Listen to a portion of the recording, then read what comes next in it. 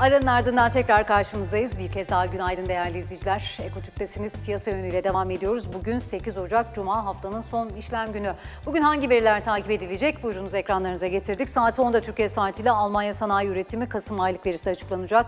Saat 13'te ise Euro bölgesi işsizlik oranı Kasım verisi açıklanıyor olacak. 16.30'da Amerika Birleşik Devletleri tarım dışı istihdam Aralık ve işsizlik oranı Aralık ve yine Amerika tarafından saat 18'de Amerika Birleşik Devletleri toptan satış stokları Kasım aylık verisi açıklanıyor olacak. Bugün bu veriler takip edilecek. Evet dünkü kapanışlara bakalım piyasalarda. Son durum ne? Nasıl kapanışlar geldi? Asya borsaları açık getireceğiz ekranlarınıza. Önce Borsa İstanbul'a başlıyoruz.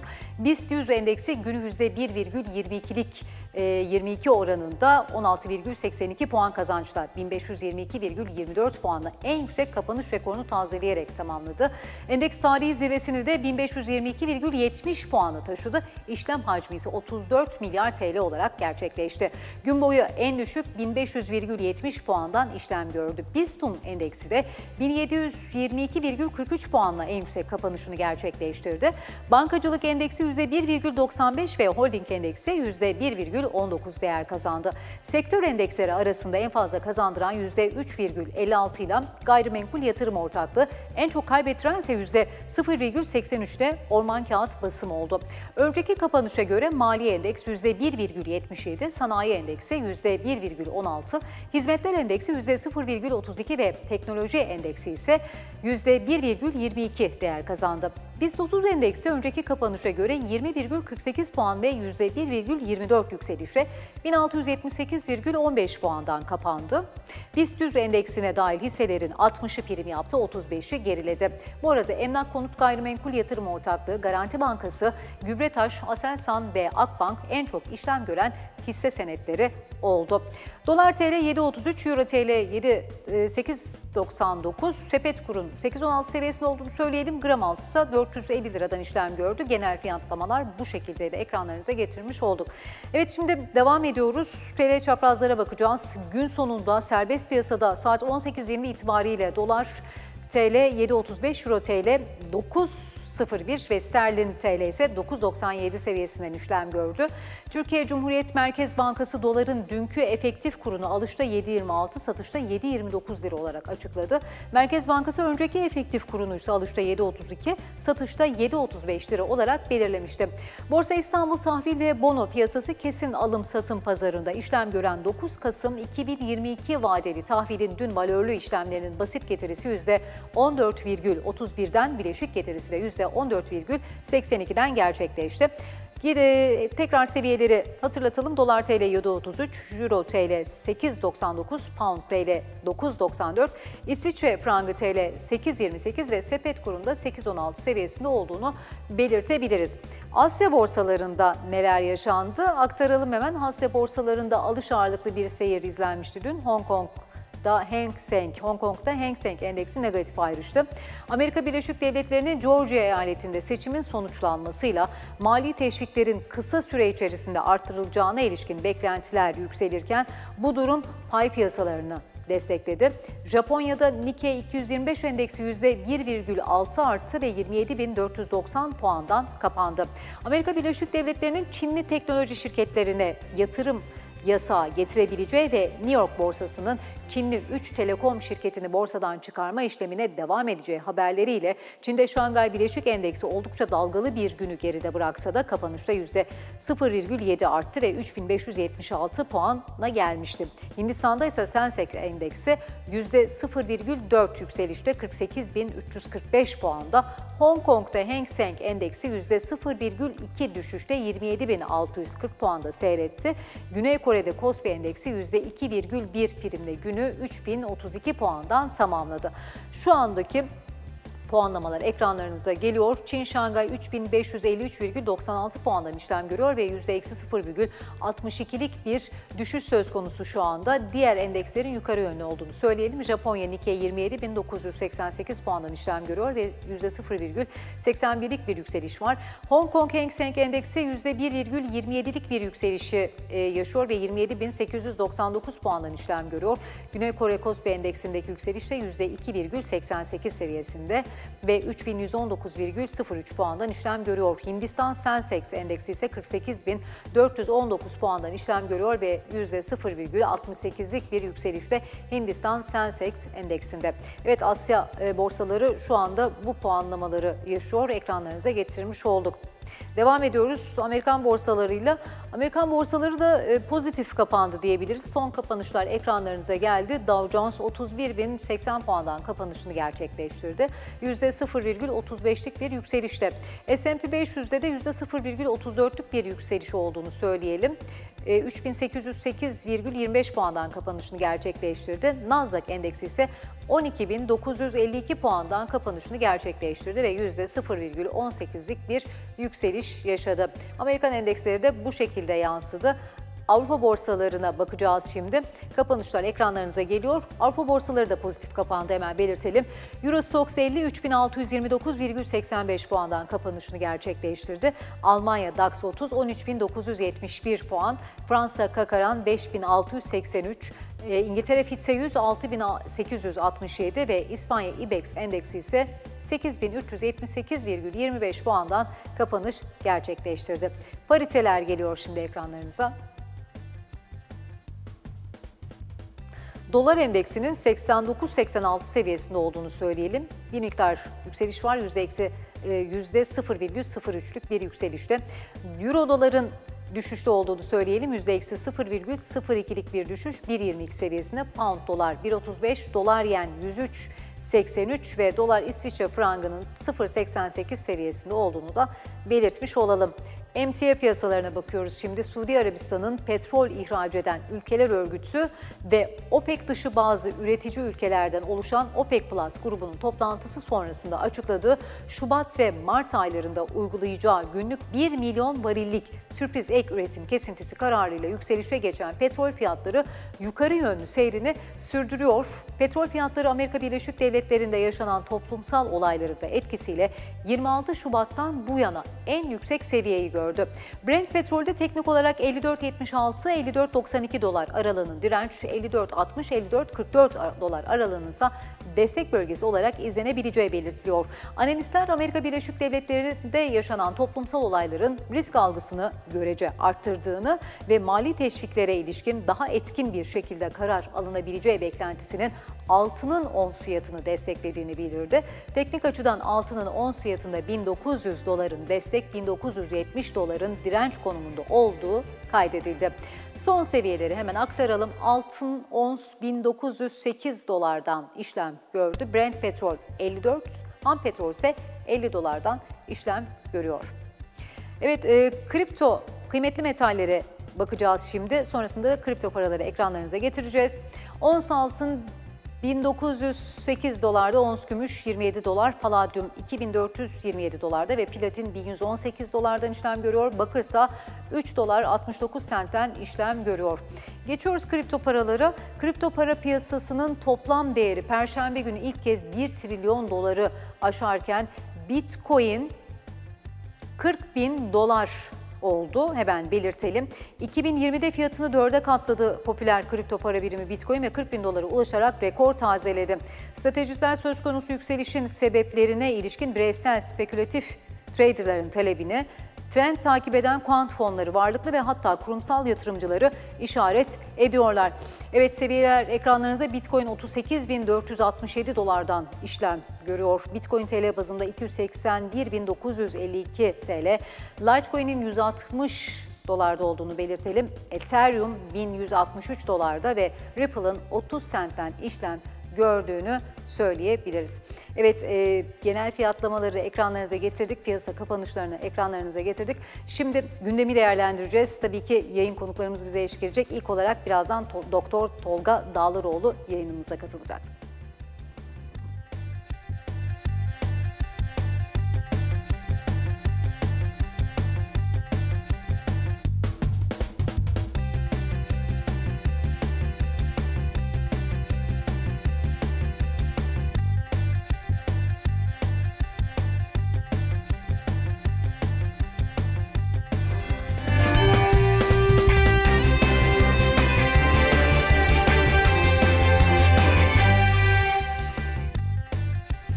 Evet değerli izleyiciler devam ediyoruz. Gündemi konuşacağız. Doktor Tolga Dağlaroğlu yayın konuğumuz. Sayın Dağlaroğlu günaydın. Hoş geldiniz yayınımıza. Günaydın, hoş bulduk Öykü Hanım. Evet, e, şimdi dün Amerika'da yaşanan, önceki gün Amerika'da yaşanan olaylarla aslında başlayalım. E, sizin de yorumlarınızı merak ediyoruz. Daha sonra tabii ki piyasalara yansımasını, ekonomiye etkilerini konuşacağız. Oradaki gelişmelerin. Tarihi olaylara tanıklık ettik. Trump'ın protesto mitingi sonrası binlerce insan kongre binasına zorla gitti. Tabii ki takip ettik hep birlikte. Öncelikle siz nasıl değerlendiriyorsunuz bu olayları? Şimdi aslında Öykü Hanım baktığımızda bu e, pandemiyle beraber daha da derin hale geldi. Şimdi 2007-2009 global finansal krizine baktığımızda e, krizden çıkış o bizim Main Street dediğimiz e, COBİ'ler, e, küçük orta boy işletmeler ve orada çalışanlarla beraber bir e, dipten dönüş olmuştu. E, fakat pandemiyle beraber o bizim K şeklinde dediğimiz bir büyüme e, söz konusu. Yani e, bazı sektörler daha doğrusu ekonomi hızlı bir biçimde daraldı. Fakat bazı sektörler, bazı iş kolları hızlı bir biçimde yükseldi. Bu K'nın e, yükselen kısmını temsil ediyor ama e, fakat e, pandemiden dolayı bazı sektörler e, hala iş kolları e, maalesef daralmaya devam ediyor. E, şimdi baktığımızda dün Financial Times'ta vardı. E, en yüksek gelir grubuna sahip %20'lik e, gelir dilimi e, Amerika'da borsanın %84'üne sahip en en zengin yüzde bir de borsanın e, yüzde ellisine sahip. Dolayısıyla böyle bir gelir dağılma adaletsizliğin olduğu e, bir ekonomide e, bu tarz olaylar son derece normal. Bir de Trump gibi son derece simultane davranan bir siyasetçi söz konusu. Dün Harker'ın açıklamaları vardı FED'den. Daha eşdeğer bir büyüme yani toplumun bütün kesimlerine yayılan bir büyüme istiyoruz diye. Dolayısıyla aslında bu olaylarda e, onun e, biraz e, yansıması diye düşünüyorum. Peki şimdi Amerika'da yaşanan bu olaylar ve başkanlık değişimi Amerika'nın e, müttefikleri ve soğuk savaş içerisinde olduğu ülkelerle ilişkilerini nasıl etkileyecek? Bunu nasıl değerlendirirsiniz? Ee, yani bence Trump burada bir istisnaydı. Ee, dünya o şekilde bakacak. Ee, hala açıklamaları, e, Trump yetkilileri zaten Trump'ın kabinesi de e, Trump'a e, onay vermiyor. Olaylara katılanlara baktığınızda New York hakiminin oğlu var. E, burada biraz e, çıkar çatışmasının olduğunu da görüyoruz. Yani mevcut mevkileri koruma. E, o e, Kürk diyen kişinin e, babasının e, New York e, valis şey, New York hakimi olduğunu görüyoruz. E, yani burada değişik olaylar söz konusu. Bence dünya buna e, bir e, bu anlamda da e, değerlendireceğini düşünüyorum. Yani geçici bir olay. Amerika'nın mevcut kurum ve e, kurumlarını zedeleyecek şekilde değerlendirileceğini çok düşünmüyorum. Şimdi demokratlar çoğunluğu oluşturdu ve piyasalarda mavi dalga beklentisi gerçekleşti. Gelişmekte olan ülkeler bundan nasıl etkilenecek? Ee, Avrupa, Orta Doğu ve Afrika'daki para birimlerinin yükselmesine neden oldu. Demokratların Amerika Birleşik Devletleri Senatosu'nda yeniden çoğunluğu ele geçirilmesi ee, ve bu mavi dalganın zaferiyle fonların Amerika Birleşik Devletleri'nin dışına çıkacağı ve bunun Türkiye'nin de aralarında olduğu gelişen piyasalara yarayacağı değerlendirilmesi yapılıyor. Siz nasıl bakıyorsunuz, nasıl değerlendiriyorsunuz? Şimdi burada temel vurgu Öykü Hanım, e, zaten e, Türkiye gibi gelişmekte olan ülkeler e, aslında buradan yararlandı. MSCI endeksine baktığımızda, döviz endeksine baktığımızda, MSCI Emerging Market Currency'lere baktığımızda en yüksek seviyesinde. ABD doları 2020'de e, para birimlerine karşı %7 e, değer kaybetti. E, dolayısıyla bu dönemde Türkiye gibi ülkelere e, giriş oldu. E, City Group'tan Bill Costa'nın değerlendirmesi vardı bugün yabancı basında. E, pozisyonumuzu artırıyoruz Güney Afrika randında, Rusya rublesinde ve e, Türk lirasında diye. E, burada hala Türkiye gibi yüksek nominal faize yüksek e, sahip ülkeler bir carry trade avantajı sunuyor. E, tabii burada asıl problem şu, özellikle mavi dalga ile beraber e, artan bütçe açığı e, nasıl e, finanse edilecek? E, tabii burada şunu çok iyi biliyoruz, bu bono e, yani hazine bonosu devlet tahvili yoluyla finanse edilecek. Son 10 yılda, son 10 yıllıklarda son 1-2 günde birin üzerine atmasının sebebi de bu olduğunu görüyoruz. Yani burada bir enflasyon beklentisi e, söz konusu. E, şimdi baktığımızda 5 yıl 5 yıl e, forward break even e, in, even inflation'ı gösteren e, hazine tahvilinin göstergesi %2'ye kadar çıkmış durumda. E, yine e, enflasyona endeks üstüne baktığımızda burada kısa tarafta eksi 2 bas puanlık ama uzun tarafına baktığımızda 30 kısmına baktığımızda eksi 40 bas puanlık bir durum söz konusu. Yani burada aslında bir negatif e, reel faiz söz konusu. Dolayısıyla e, son açıklanan FED tutanaklarının iki etkili aslında burada bir tweetten söz ediyor. Yani FED tahvil alımlarında aynen geçmişte gördüğünüz gibi operational tweet dediğimiz kısa vadeli kağıtlar uzun vadeli kağıtlarla değiştirilmesi e, söz konusu. Bu toplantıda öyle bir şey çıkmadı ama bir sonraki toplantıda çıkabilir. Tabii bu da Türkiye gibi ekonomiler açısından, e, sermaye açısından son derece önemli. Biz yapılan çalışmalarda şunu görüyoruz. Türkiye gibi ülkelere sermaye akımını belirleyen en önemli faktör dolar endeksi. Dolar endeksi düştüğü zaman e, piyasalarda risk on mod oluyor ve Türkiye gibi ülkelere sermaye akımı oluyor ki son dönemde görülen de bu.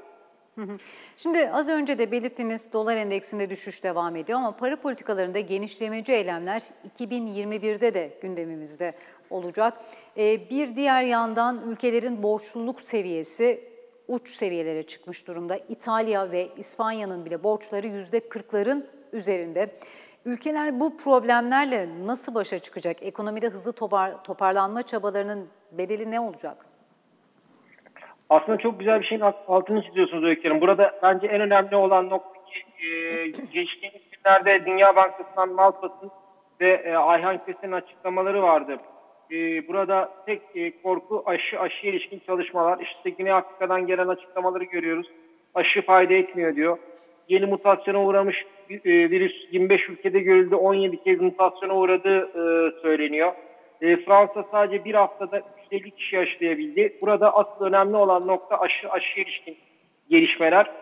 E, sadece 2020'nin ilk iki gününde e, şirketler 50 milyar e, dolarlık tahvil ihraç etti. Bu bir rekor. Daha önce biz 2017'de ilk haftada 51 milyar dolarlık ihraç görmüştük. 2020 yılında e, özellikle şirketler kesme 5.4 e, trilyon dolarlık tahvil ihracı gerçekleştirdi. Bu 2019'un 5 katı. Şimdi burada temel problem şu. Borç sürdürülebilir mi? Evet sürdürülebilir. Biz borcun sürdürülebilirliğine şöyle bakıyoruz.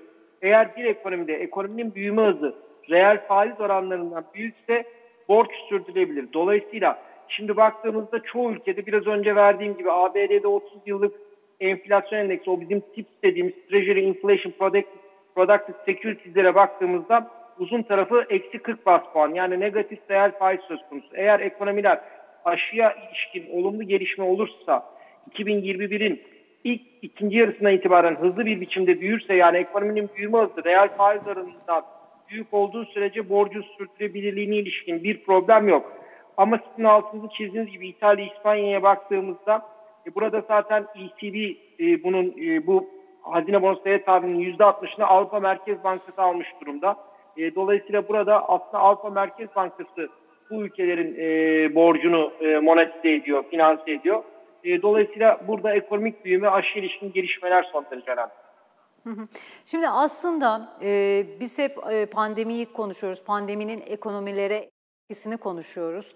E, aşılamalar başlayacak ve e, bir an önce hem ülkemizde hem de dünyanın bu salgından kurtulması aslında önemli olan gibi. Ama bir diğer önemli konu var aslında çok da şu anda e, pek gündemde değil ama kuraklık. Ciddi ölçüde havaların mevsim normallerinin üzerinde seyretmesi, sıcaklıklarla seyretmesi aslında kuraklıkla ilgili çanların çalmasına sebep oluyor ve çok önemli bir konu aslında. Ekonomiye etkileri yani bu kuraklık tehlikesiyle karşı karşıya kalınmasının ekonomiye etkileri nasıl olacak? Kesinlikle. E, The Economist'te e, hemen ilk sayfayı açtığınızda bir iki sayfa sonra Calcord Cartoons vardır. Orada e, çok güzel bir karikatür vardı. E, dünya e, Covid ve e, boks maçında ama arka tarafta devasa bir e, isim değişikliği ile ilgili bir boksör bekliyor. Yani biz aslında e, şu anda işin çok küçük bir boyutuyla e, uğraşıyor gibiyiz ama arka planda sizin de söylediğiniz gibi e, bir e, devasa bir olay var. Yani mesela Ankara'ya baktığınızda geçen hafta cumartesi 30 dereceydi. 22-23 dereceydi. 10-15 e, derecelerde gidiyor Ocak ayı içerisindeyiz e, yani baktığımızda.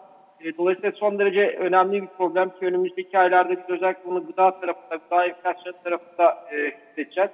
E, tabii burada IMF'den e, Georgieva'nın açıklamaları vardı. Aslında bu virüs bizi bu noktada biraz e, aklımızı başımıza almamıza neden oldu. Hem daha toplumun genel kesimlerine yayılan bir büyüme, e, hem daha yeşil bir büyüme, e, hem de daha teknoloji odaklanma, istihdam yaratan bir büyüme e, ve bu ülkeler arasındaki koordinasyon ne kadar önemli olduğunu gördük. İşte Çin'in küçük bir bölgesinde çıkartılan e, bu virüs e, dünyanın geri kalan kısmını etkiledi.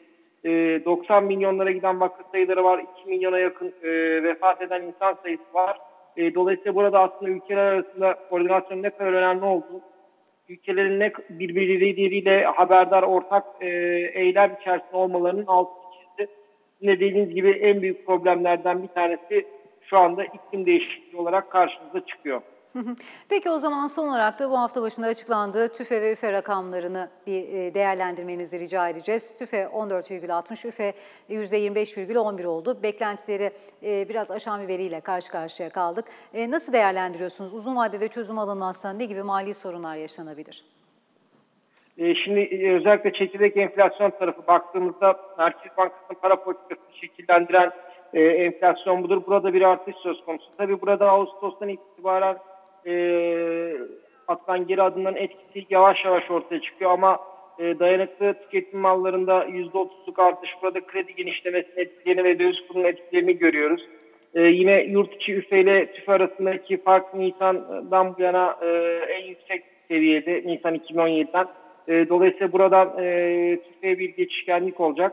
E, ben e, sanıyorum Mart'tan sonra enflasyonda e, eğer e, kurda tekrar bir şok yemezsek aşağı yönlü bir e, seyir görebiliriz ama e, Ocak, Şubat e, bu noktada e, yüksek enflasyonu göreceğimiz e, dönem olarak karşımıza çıkıyor. Peki Doktor Tolga Dağlaroğlu çok teşekkür ediyoruz katılımınız için. Ben teşekkür ederim. Evet değerli izleyiciler gündemi değerlendirdik. Doktor Tolga Dağlaroğlu yayın konuğumuzdu. Önemli bir gelişme yaşandı. E, programımızın başından beri detaylarını paylaştık sizinle. TürkSat 5A uydusu Türkiye saatiyle bu sabah 5.15'te Florida'dan uzaya fırlatıldı. Ulaştırma ve Altyapı Bakanı Adil Kara İsmailoğlu konuyla alakalı Eko Türkiye açıklamalarda bulundu. Şimdi bakanın açıklamalarını getireceğiz ekranlarınıza. Tabii BEŞA e, uzaydaki varlığımızı e, ve dünyaya bütün dünyayı hissettirmek için çok önemli bir projeydi. Buradaki yörünge haklarımızı da korumuş oluyoruz bu şekilde. Ayrıca 5A uydumuzla birlikte yayın kalitesi ve yayın e, gücü e, oldukça artacak e, e, TürkSat'ın. Yine ayrıca e, e, dünyadaki kapsam alanımız oldukça genişlemiş oluyor. E, bütün dünyaya hizmet vermeye başlayacağız. E, tabii bu yolculuk 4 ay sürecek yörüngesine yerleşmesi süresi. Ondan sonra da testlerimize başlayacağız. Testler bittikten sonra da artık bütün dünyaya hizmet vermeye başlayacağız. Tabii TürkSat 5A daha çok yayıncılık açısından bayağı bir yenilikler getiriyor. 5B'de biraz da iletişim haberleşme açısından yenilik getiriyor. 5B'nin de imalat çalışmaları bitti. Testlere başlıyoruz. Ee, onu da Haziran gibi fırlatmayı planlıyoruz. Artık bundan sonra bu uydu, e, uydu fırlatma işleriyle daha çok e, güncel olacak. Daha çok güncelleyeceğiz, haberleşeceğiz. E, peşinden artık e, yerli ve milli uydumuz 6A geliyor. Orada da çalışmalar devam ediyor. E, yerli ve milli olması bakımından 6A çok önemli bir proje. Onu da 2022'nin ilk ayları gibi planlıyoruz. Tabii bunların hepsini fırlattığımızda dünyada en güçlü ülkelerden bir tanesi olacağız uzayda da. Tabii imalatları Türkiye'de yapılıyor. Tabii fırlatma için belli bir kapasite, belli bir kapasite gerekiyor. Yani mevcut fırlatma sistemleri de kullanılabilir ama ülkemizde de fırlatma için de çalışmalarımız bir taraftan devam ediyor. İleriki günler. Evet bakın e, açıklamalarının ayrıntıları böyle değerli izleyiciler. 2020'yi az hasarla atlatarak yılı 17 milyar 143 milyon dolarlık ihracatla kapatan hazır giyim sektörü 2021 yılı için ihracat hedefini büyüttü. Sektör 2021 yılını 19 milyar dolarlık ihracatla kapatmayı hedefliyor. Türkiye'nin küresel şoklara üretim kapasitesi ve uyum yeteneğiyle en hazır sektörlerinin başında gelen hazır giyim, pandemiye rağmen 2020'yi başarıyla kapattı. Küresel ticaretin ağır bir yıkımla karşılaştığı yılı 17 milyar 143 milyon dolarlık ihracatla tamamlayan sektör, Türkiye'nin sanayi ihracatına %17,4, toplam ihracatına ise %10,1 oranında katkı sağladı. 2019'da 17,7 milyar dolarlık ihracat gerçekleştiren hazır giyim sektörü 2020'yi miktar bazında %2,4, döviz karşılığı olarak %3,1 ekside kapattı. Ülkemize net 15,5 milyar dolar döviz kazandırdı. Sektörün 2021 hedefi ise daha büyük. Avrupa ve Amerika Birleşik Devletleri başta olmak üzere dünyada kitlesel aşı uygulamalarının başlaması ve İngiltere ile serbest ticaret anlaşmasının imzalanması sektörü umutlandırıyor. 2021'de %8 ila 10 oranında bir ihracat artışı hedefleniyor. Tat Gıda kamuyu aydınlatma platformuna yaptığı açıklamada seks sütün çallı gıdaya 240 milyon TL karşılığında satışının gerçekleştirildiğini duyurdu. Çallı gıda satın almayı yeni kurduğu Cereyan Süt ve Süt Ürünleri adlı firma üzerinden gerçekleştirdi. Tat Gıda'dan yapılan açıklamada şirketimizin ilişkili tarafları arasında yer alan CLA Süt ve Süt Ürünleri Gıda Sanayi Ticaret AŞ, Çallı Gıda Sanayi ve Ticaret AŞ ile şirketimiz arasında şirketimizin süt ve süt ürünleri iş kolundaki varlıklarının devredilmesine ilişkin bir varlık satış sözleşmesi imzalanmıştır denildi.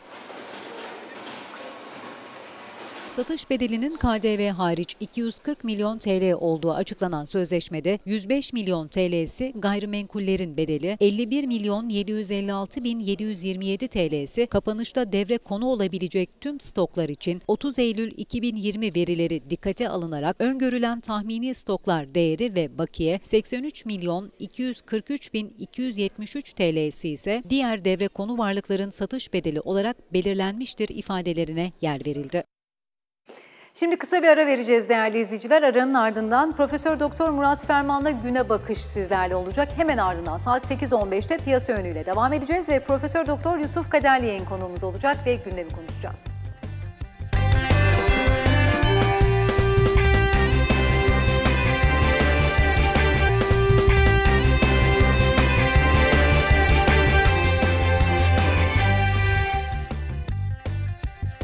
Piyasa yönüyle devam ediyoruz değerli izleyiciler. Profesör Doktor Yusuf Kaderli yayın konuğumuz. Gündemi değerlendireceğiz. Sayın Kaderli hoş geldiniz yayınımıza. Günaydın.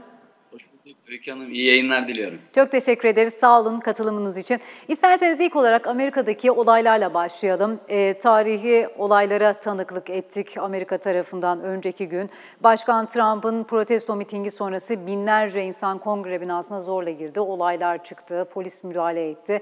Siz bu olayları nasıl değerlendiriyorsunuz? Sonra ekonomideki yansımalarına tabii ki geçeceğiz ama önce bir genel değerlendirme alabilir miyiz? Seçimlerden sonra biliyorsunuz e, yani Amerika'da geçmişten başlayan bir Trumpizm hareketi e, olarak adlandırılan hareket e, kendini gösterdi. Amerikan tarihinde dediğiniz gibi olmayan şeyler oldu ama hatta piyasada hafif bir gerginlik yaratsa da bertaraf edildi. Biz önümüzdeki günlerde bu tür hareketlerin devam etme ihtimali var yine göreceğiz. çünkü bu hareket de öyle kolay bertaraf edilecek bir hareket değil. Önümüzdeki günlerde biz benzer şeyleri Amerika'da göreceğiz ama ben piyasalara yansımaları tarafında e, aynı e, geçtiğimiz günde olduğu gibi e, bunların e, Amerika içerisinde e, bertaraf edilebileceğini ve piyasaya çok e, böyle olumsuz etkilerin olabileceğini düşünmüyorum. Ba, e, Başkan e, Biden 20 e, Ocak'ta göreve başladıktan sonra e, yani belirli bir süre sonra ben e, işlerin bu anlamda rayına oturacağını düşünüyorum. Ama bu geçiş süreci içerisinde e, benzer hareketler görme ihtimalimizi kuvvetli görüyorum. Şimdi e, demokratların çoğunluğunu oluşturduğu ve piyasalarda mavi dalga beklentisi gerçekleşti. Hatta belirtelim e, piyasalardaki hisselerle Avrupa, Orta Doğu ve Afrika'daki para birimlerinin yükselmesine neden oldu. Mavi dalganın zaferiyle e, fonların Amerika'nın dışına çıkacağı ve bunun Türkiye'nin de aralarında olduğu gelişen piyasaları yarayacağı değerlendirmesi yapılıyor. Siz katılıyor musunuz bu değerlendirmeye? Sizin görüşünüz ne yönde? Evet ben bu değerlendirmeye e, katılıyorum. E, dolayısıyla e, önümüzdeki günlerde e, gelişmekte olan ülkelerin e, bu anlamda e, bir miktar daha e, yukarı yönde olma olasılığını kuvvetli görüyorum. Bunu zaten e, yavaş yavaş piyasalarda da hissetmeye başladık. E, birazdan muhtemelen e, bizim piyasamızı da e, konuşacağızdır. Hı hı. E, e, yabancı para girişlerinin e, gittikçe artıyor olması e, özellikle e, bu Amerika'daki bu gelişmeden sonra e, mavi dalga hareketinin de e, bunu destekleyeceğini ve bir miktar fonun mutlaka Türkiye'ye gireceğini düşünüyorum. Çünkü Türkiye'de bu anlamda şartlar oluşmaya başladı. E, yabancı çekmeye başladık e, ve biz bunun etkilerini yaklaşık bir, bir buçuk aydır görüyoruz. E, etkilerini görmeye de devam edeceğiz. Şimdi e, Borsa İstanbul rekorlarına rekor katıyor. E, TL bazlı olarak döviz kurunda da ciddi e, geri çekilmeler söz konusu. Birçok banka ve yatırım kuruluşu dolar TL tahminlerini 7 seviyesi ve altına çekmeye başladı. TL varlıkları 2021 yılında neler bekliyor? Evet. Şimdi e, isterseniz önce borsayla başlayalım. E, borsada e, 1500 seviyesi e, çok kritik bir seviyeydi. Hem herkesin dilindeydi 1500 seviyesinden acaba bir kar realizasyonu gelebilir mi diye. Ama gördük ki endeks e, hızlı yükselişi içerisinde e, 1500 seviyesini de çok kolay bir biçimde aşmayı başardı. Şimdi e, burada ben özellikle şuna dikkat çekmek istiyorum. E, yabancı girişi de özellikle arttığı için e, Türk borsasına e, dolar bazlı e, grafikte e, çok dikkatimi çeken bir şey var. E, 2013 yılından başlayan ya 7 yıllık süren e, bir alçalan trend söz konusu. Ana alçalan trendin biz altındayız ve uzun süredir de yaklaşık e, 1-2 yıldan beri de aşağıda e, yatay bantta hareket ediyoruz. E, bugün geldiğimiz seviye e, bu e, yatay bandın direnç seviyesiyle 2013 yılından başlayan e, düşüş e, trendinin direnç seviyesiyle kesişti. Yani iki tane önemli direnç seviyesi kesişti. E, dolayısıyla e, ben yatırımcılara özellikle e, ocağın ikinci haftasından itibaren kar realizasyonu anlamında biraz daha dikkatli olmalarını e, tavsiye edeceğim. E, endeksin biraz daha yukarı gitme potansiyeli var. 1600'e doğru bir e, atak görme ihtimalimiz var bugünlerde.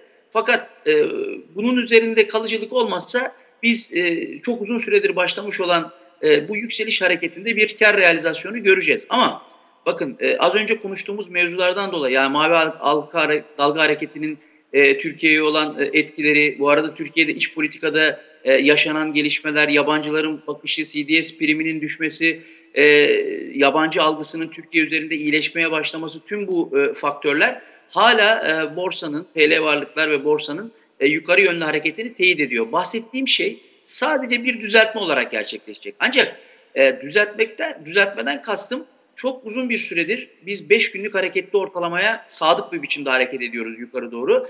E, ve 5 günlük hareketli ortalamanın altında sadece bir gün kalıyor. Eğer bakarsanız borsa 3 aydır 5 günlük hareketli ortalamanın altında sadece bir gün kalıyor. İkinci gün tekrar üstündeyiz ve yola devam ediyoruz.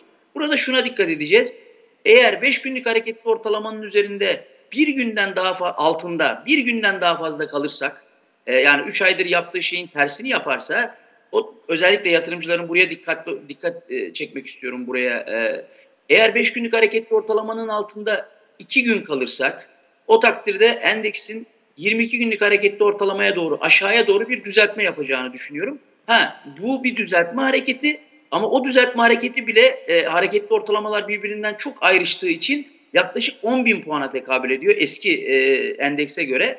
E, diğer türlü de yaklaşık 1000 puana tekabül ediyor e, en az. O yüzden e, 1000 puanlık bir e, düşüş ya da eskiyle 10 bin puanlık bir düşüş e, hisse senetlerini belli bir seviyeye çekecektir. Ama ben e, bu hareketin oralara kadar gerileyebileceğini düşünüyorum. Endeksin hala e, bu gelişmelerle yönünün e, yukarı olduğunu düşünenlerdenim. Peki nerelere kadar e, gidebilir?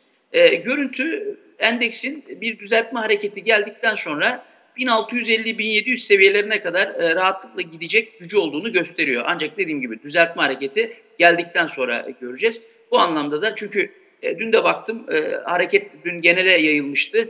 E, hemen hemen bütün sektörler getiri sağladı. Sadece kağıt, elektrik, iletişim sektörleri yok denecek kadar az bir e, düşüş kaydettiler. Genele yayıldı. E, dolayısıyla e, ben e, orta vadede küçük bir düzeltmeden sonra e, 8-10 bin puanlık bir düzeltmeden sonra endeksin e, yaklaşık 1700 seviyelere kadar yola devam etme ihtimalini kuvvetli görüyorum. Peki biraz da ons altınla ilgili değerlendirme rica edelim sizden. 1908-1910 dolar seviyelerinde şu anda ons altının gidişatını nasıl değerlendiriyorsunuz? Evet, ons altında da e, yine e, şu anda hala e, ülkelerin e, yapmış oldukları bu teşvik paketlerinin e, devam ediyor olması, İşte Amerika'da dün biliyorsunuz e, FED başkanlarından gelen e, bir takım açıklamaların e, bu politikanın sürdürüleceğinin e, yani ekonomide iyileşmeler görülünceye kadar e, ve bu politikaların sürdürüleceğine devam edeceğini söylemesi, hani enflasyonun istenen hedeflere ulaşması için daha zamanın olduğunu e, ve dolayısıyla da biz o döneme kadar destekleyeceğiz e, görüşünün hakim olması e, ons altına yarıyor. Ve ons altın e, aslında 2080 dolarlardan e, başlayan e, düşüş hareketini geçtiğimiz günlerde 3-4 gün önce sona erdirdi. Kısa vadeli bir kanaldı bu. Onun üzerine çıkmayı başardık. Önümüzde ons altınla ilgili destek ve direnç seviyeleri en önemli yer şu anda tam olarak bulunduğumuz yer 1910 seviyesi. 1910 seviyesi eğer aşağı kırılırsa biz ons altında e, biraz geri çekilme görebiliriz. Nereye kadar? E, 1900 1890 seviyesine kadar. 1910 önemli ama 1910 dolarda eğer tutunmayı başarırsak kaldığımız yerden dola de, yola devam edeceğiz. Önce 1930, sonra 1970, sonra da 2000 dolara bir kere daha deneyeceğiz. 1910'un üzerinde e, bir gece kapanışı yapmamız koşuluyla. Eğer ki işler tersine dönerse de aşağıda özellikle 1890 seviyesinin aşağı kırılmaması konusunda yatırımcılara dikkat çekiyorum. Burası aşağı kırılmadığı sürece altında e, yukarı başlayan hareketin yine devam edeceğini düşünüyorum. Peki Profesör Doktor Yusuf Kaderli teşekkür ediyoruz katılımınız için. İyi yayınlar diliyorum. Teşekkür ederiz. Evet değerli izleyiciler, e, bugün noktalıyoruz, bu haftayı noktalıyoruz. Sağlıklı ve güzel bir hafta sonu geçirmenizi diliyoruz. Pazartesi günü yine aynı saatte saatler 7'yi gösterdiğinde sabah ekranında oluncaya kadar şimdilik hoşçakalın.